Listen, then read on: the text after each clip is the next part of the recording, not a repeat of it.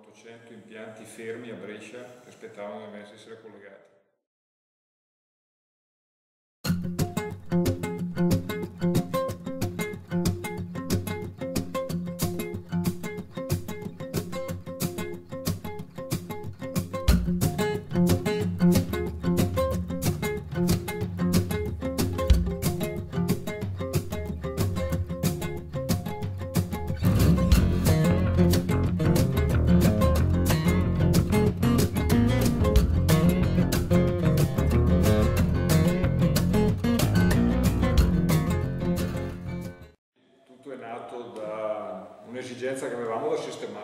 Tetto dell'azienda, perché aveva 100 anni e cominciava a dare i segni de, dell'età.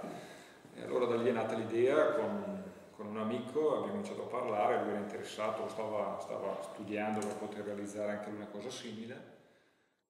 È un po' complicato perché capire, capire come si deve fare, capire in che modo farlo, capire i vari scaglioni de, che ci sono per gli incentivi ci vuole parecchio tempo, però alla fine io dovevo fare il tetto, l'ho fatto a misura proprio del, l'ho fatto in funzione del, dei pannelli fotovoltaici, dunque io ho fatto 20 kW, sono circa, adesso vado a memoria, però sono circa 180 metri quadrati di tetto.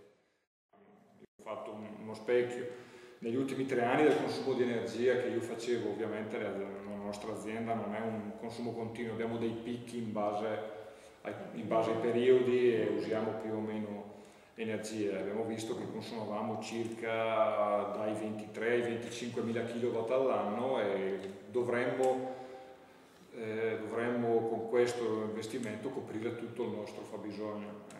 Quando l'abbiamo fatto noi il tetto massimo era 20 kW per, anzi 19,9, non stava sotto i 20 kg per fare lo scambio sul posto.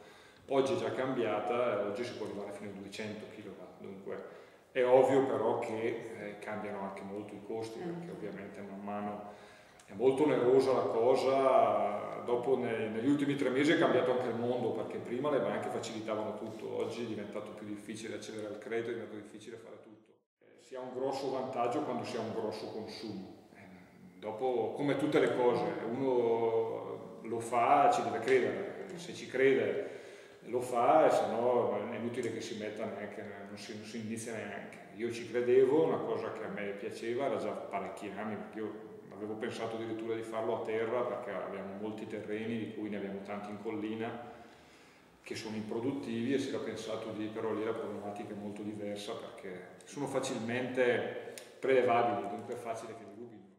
E gli ha fatto un investimento di? Sono l'investimento solo dei pannelli sono 120.000 euro, cioè solo, solo di impianto. E come tempistiche per... Ma la tempistica, è, allora, come dicevo io ho ristrutturato il tetto, dunque mi è venuto anche facile perché avevo qua gru, avevo qui tutto, era tutto pronto nel momento che nel giro di due mesi noi abbiamo fatto tutto. Abbiamo sistemato il tetto e posizionato i pannelli. Tutto io ho fatto. Fatto, fatto nessun gruppo magari di acquisto? No, no, io ho fatto direttamente, ho contattato per prima l'Enel, ho contattato, mi sono informato, dopo ho navigato un po' in internet, ho cercato di capire bene, di chiarirmi le idee io per capire cosa andavo incontro Dopodiché ho scelto delle, delle, aziende che secondo me erano in grado di fare questa cosa. Lei ha finito l'impianto, quindi diceva... Noi abbiamo finito l'impianto, finito collaudato, era il 17 di agosto. Da lì è iniziata un'ecatombe praticamente. Noi avevamo un... noi non eravamo, cioè è successo che nell'ultimo anno avevamo cambiato fornitore di energia, eravamo con Edison e non più con SM. Però il problema è che Edison si appoggia sui ponti, sulle linee degli ASM. Allora noi abbiamo dovuto prima passare la documentazione a Edison, la quale l'ha passata a SM e ogni mano che passa se la prendono con, grande, con gran calma. Dovrebbero esserci 60 giorni di legge per dare una, di legge per dare una risposta, sono passati quanto? 4 mesi, 5 mesi. Eh, ma alla fine ne sarebbero passati molti di più, perché dopo io ho cominciato, ho cominciato a scendere in campo io, io sono una persona abbastanza conosciuta.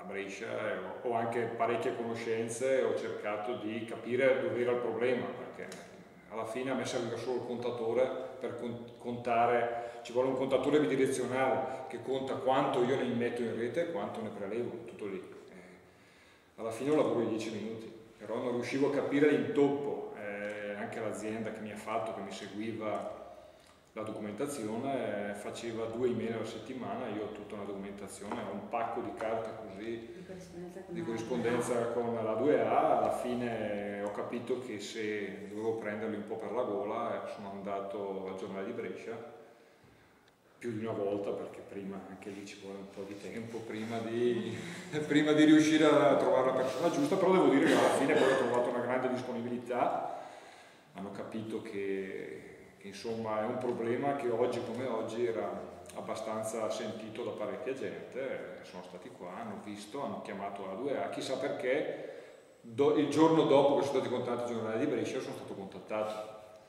E nel giro di quattro giorni l'impianto è stato messo in funzione, però dal, 16, dal 17 di agosto siamo arrivati al 16 di dicembre fatto è che nella mia stessa situazione ce ne sono tanti e un mio amico industriale aveva fatto 200 kW e è ancora fermo da, dal 18 di agosto, giorno, anzi no, dal 16, il giorno prima di me è venuto pronto.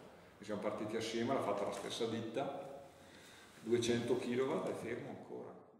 Questa è la realtà del nostro governo che dice che la gente deve investire nelle, nelle energie rinnovabili non devono, non devono mica dare tanti incentivi alle aziende, devono, devono togliergli tutta questa assurda burocrazia. Finché io ho avuto pazienza, ho detto vabbè abbiamo pazienza, poi ovviamente io come tutti gli imprenditori si è impegnati, non tutti i giorni. Ti ricordi che devi fare questo, ma nel frattempo il tempo passa, quando sono arrivato alla fine di settembre ho detto ma è passato un mese e mezzo, ma nessuno, cioè non avevo avuto nemmeno un contatto telefonico ho detto forse sarà il caso che mi muova io, eh, però ci ho impiegato altri due mesi. Hai dovuto contattare? Sì, ho dovuto contattare, ho dovuto contattare giornali più che, più che, un sacco di gente, insomma. Cioè, poi quando sono venuti, cioè, io non è che voglio dire, però sono venuti qua, dieci minuti hanno, fatto, hanno messo, e io dico, dieci minuti sono dieci minuti, c'è più il tempo di cercare me che ero in giro per l'azienda che quello di mettere un contatore o siamo tutti grandi aziende che possono supportare questo, ma anche perché 5 mesi fermo, c'erano 5 mesi che abbiamo preventivato, tra l'altro noi il picco di, eh, di energia la usiamo proprio da, da, dalla fine di agosto fino alla fine di ottobre che siamo in piena vendemmia, vabbè. E tra l'altro è il periodo in cui renderebbe di più l'impianto, chiaramente. Sì, esatto, con, esatto. poi tutto un insieme di cose, perché dopo oltre a questo c'è l'incentivo statale, ci sono tante cose, sono tanti soldi che abbiamo perso, insomma, alla fine. Voi riuscite a ammortizzarlo in quanto tempo questo impianto?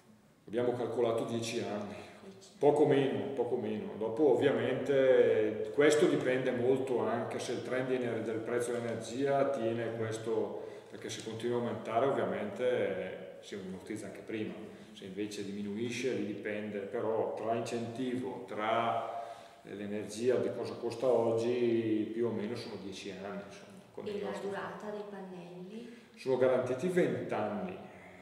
Ci sono pannelli che sono attivi già da 30 anni e funzionano ancora. Domani un introito in più che insomma, sono cose che una volta che avremo finito di pagare quello che stiamo pagando, dopo resterà un introito per noi